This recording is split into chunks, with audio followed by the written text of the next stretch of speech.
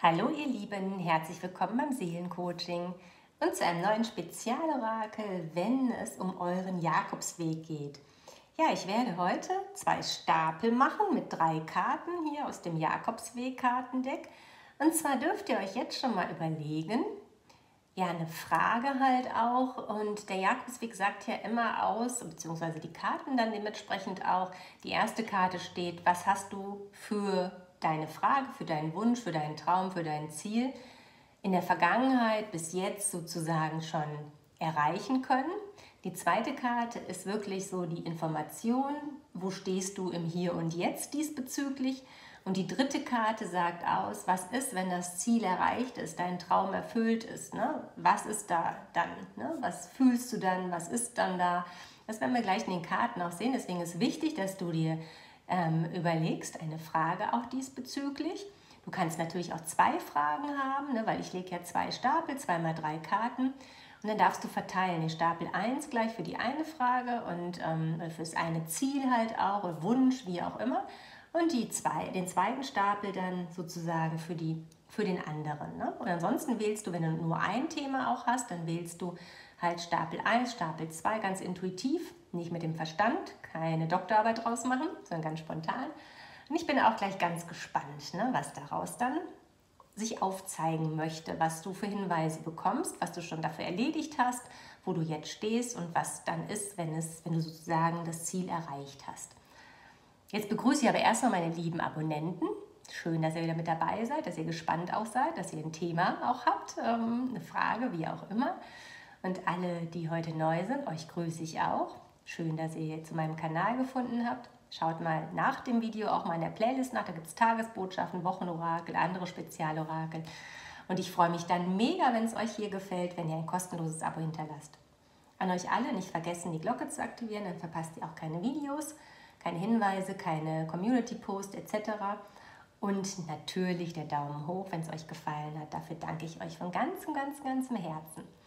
Und private Legungen sind natürlich auch möglich. Unter dem Video findet ihr in den Shownotes meine E-Mail-Adresse, aber auch in den Kanalinfos. Und dann lege ich euch natürlich, ich, lege, ich arbeite sonst ja mit dem Lendemore-Kartendeck, wer es noch nicht weiß oder der heute ganz, die oder der heute ganz neu hier ist.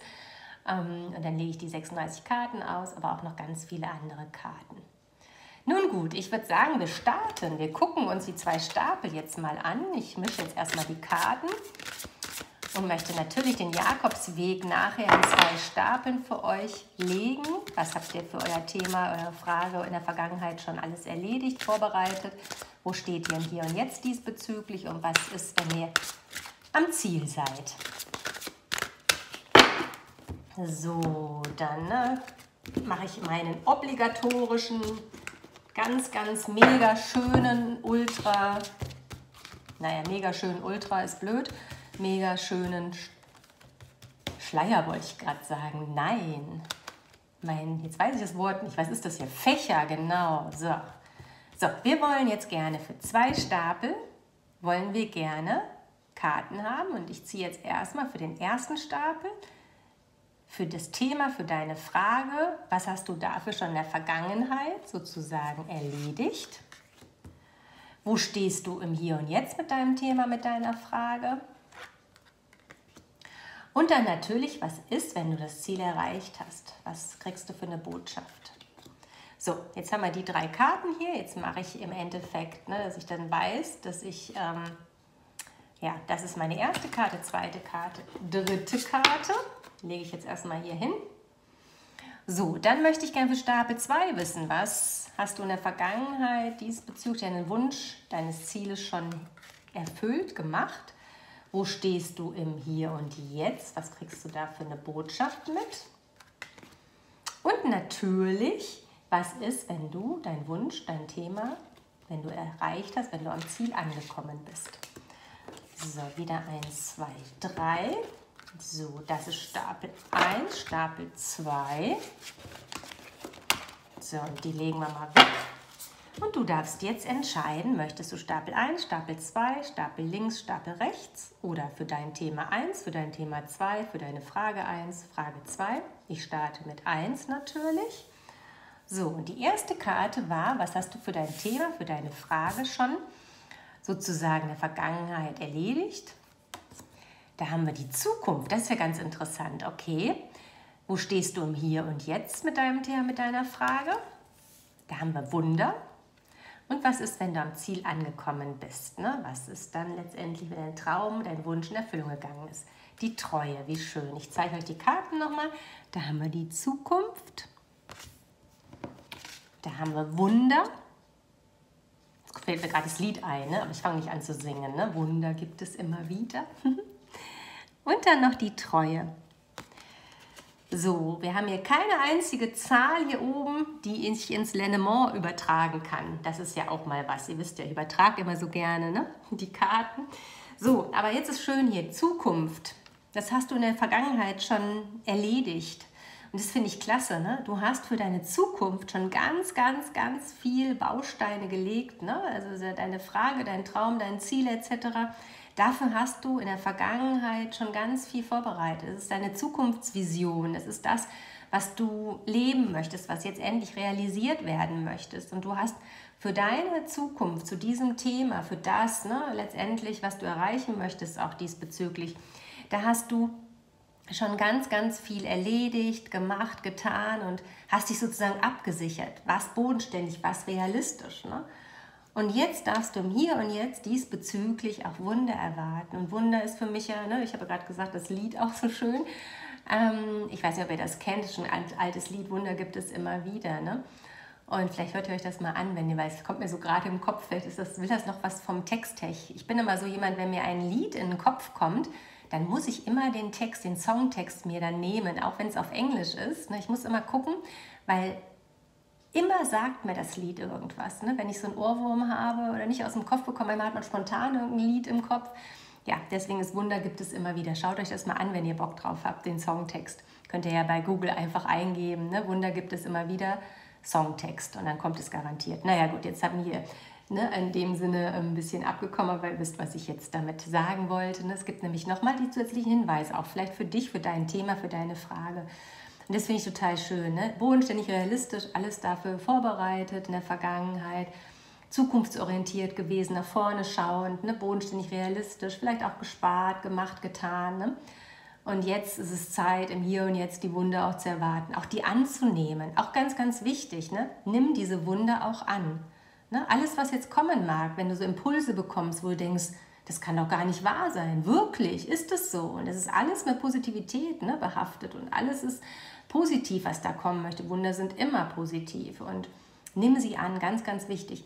Und wenn du dann angekommen bist, ne, wenn du das hier alles für dich sozusagen in Anführungsstrichen erledigt hast, am Ziel, an deinem Traum, an, in der Realität, wenn alles dafür ne, sozusagen ähm, feststeht, dann bekommst du die Treue auch. Ne? Und das finde ich ganz toll, wenn Treue heißt ja nochmal, dass alles richtig war. Ne? Alles war richtig hier. Alles, ja, du bist deinen Weg dann gegangen, du hast das realisiert, was du gerne möchtest, hast es vorbereitet, warst bodenständig, realistisch, nicht blauäugig, ne?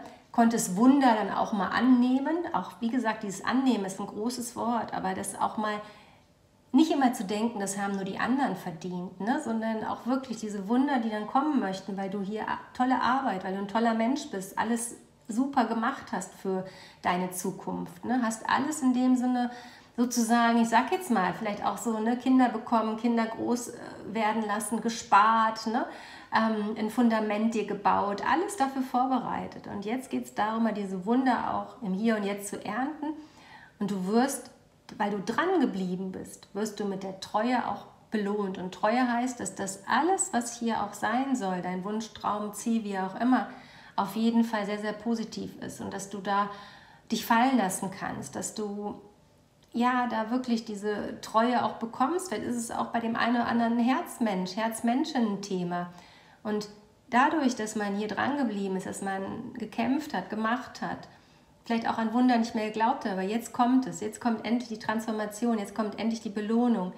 Und die Treue noch on top zu den Wundern ist mega, ne? wenn man wirklich weiß, okay, man ist angekommen, ne? man kann sich fallen lassen, man kann blind vertrauen auch, ne? kommt mir gerade auch. Also mega schön Stapel 1. Ne?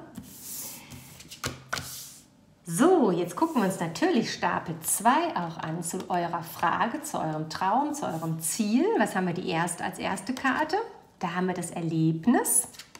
Dann haben wir die Partnerschaft und das Wachsen. Ich zeige euch die Karten. Da haben wir das Erlebnis. Da haben wir die Partnerschaft. Und wir haben das Wachsen.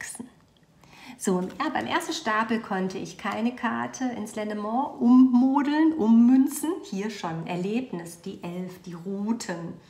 Und bei der Partnerschaft die 33, der Schlüssel. Mega Erlebnis. Die erste Karte de, zu deiner Frage, zu deinem Wunsch, zu deinem Traum, zu deinem Ziel, was du in der Vergangenheit schon alles dafür geleistet, vorbereitet etc., das Erlebnis. Ja, du hast viel erlebt. Du hast viel kommuniziert mit den Tacheles-Gesprächen, mit den Routen heißt es. Du hattest viele Diskussionen, vielleicht viele Auseinandersetzungen, vielleicht auch Höhen und Tiefen, viele Erlebnisse, die dich aber letztendlich auch weitergebracht haben, die viele Lernfaktoren beinhaltet haben, ne? auch ganz, ganz wichtig, aber wo du immer für dich dann auch eingestanden bist. Ne? Also du hast wirklich dafür auch gekämpft und deswegen musstest du auch durch Höhen und Tiefen, ne? durch Berg und Tal gehen und ähm, ja, hier auch hier durch, durchs Wasser, durch Gebirge, ne, durch äh, erschwerten Bedingungen auch gehen, vielleicht auch manchmal finanziell. Ne? Und musstest dich immer wieder behaupten mit, den, mit der Elf, mit den Routen, heißt das ja immer, man musste immer Gespräche führen, auch vielleicht um dran zu bleiben, um auch Erfolge ernten zu können, um auch weiterzukommen, um auch vielleicht ähm, die Tiefen auch wieder zu kompensieren oder wieder sich auch aufzuraffen, ne? Erlebnisse halt diesbezüglich. Und Partnerschaft, das ist klar, das kann die klassische Partnerschaft sein, aber es können auch Verbindungen sein, die jetzt wichtig sind, im Hier und Jetzt. Im Hier und Jetzt geht es darum, Partnerschaft auch diesbezüglich deiner Frage, deines Traums, deines Ziels auch zu leben. Und wenn es nicht die klassische Partnerschaft ist, worauf man bauen kann, ne, die 33, der Schlüssel, mega, ne, öffnet neue Türen, schließt neue Türen auf, diese Erlebnisse, die nicht so schön waren, die uns aber weitergebracht haben oder die dich weitergebracht haben, weil du gekämpft hast, drangeblieben bist, du hattest Auseinandersetzungen mit der Elf, mit den Routen, da hast du die alte Türe aus der Vergangenheit, die nicht so schön war, hast du schließen können jetzt hier im Hier und Jetzt. Nicht schließen können, wir sind ja jetzt im Hier und Jetzt. Du schließt diese Türe und öffnest mit dem Sicherheitsschlüssel die neue Türe. Und der Hinweis Partnerschaft, vielleicht bist du in der Partnerschaft, wo du dich anlehnen kannst, wo du angekommen bist bist jetzt, wo du einfach sagst, es ist alles schön und das, dieser Weg, dieses Kämpfen und alles, kommt mir gerade auch noch im Kopf. Dieses Höhen, diese Höhen und Tiefen, die haben sich gelohnt, weil im Hier und Jetzt habe ich die Sicherheit. Ne? Du bekommst es bestätigt. Frage, Traum, Ziel, was auch immer bei dir jetzt gerade äh, im Kopf diesbezüglich ist.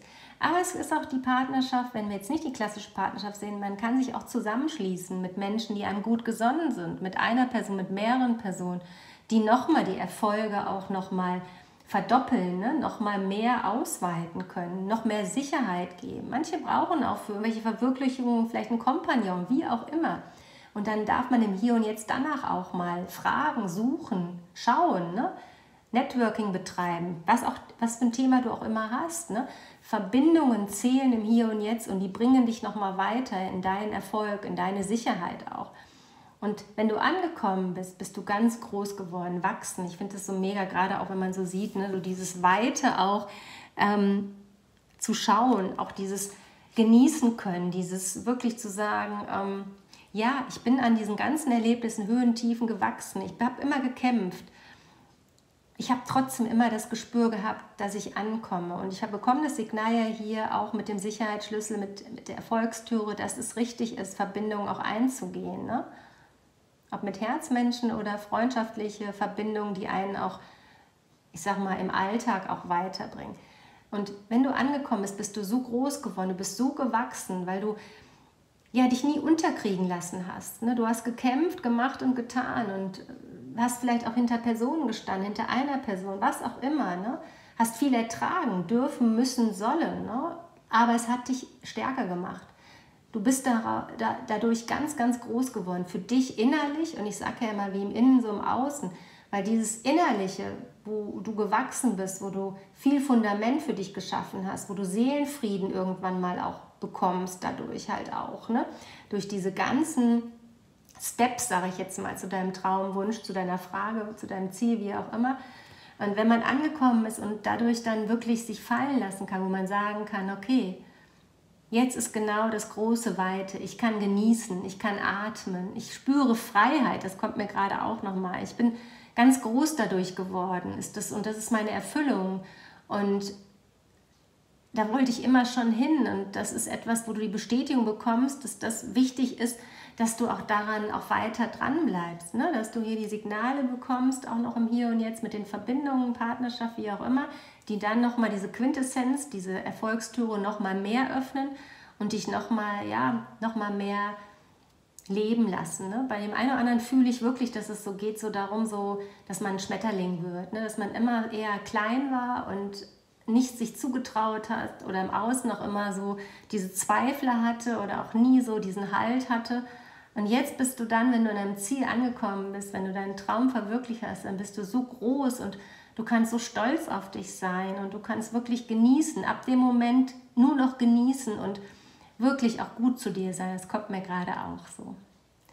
Ihr Lieben, ich hoffe, ich konnte euch durch den Jakobsweg jetzt schöne Botschaften mitgeben für eure Frage, für euren Traum, für euren Ziel, für euer Wunsch, wie auch immer. Es waren mega schöne Karten bei beiden Stapeln.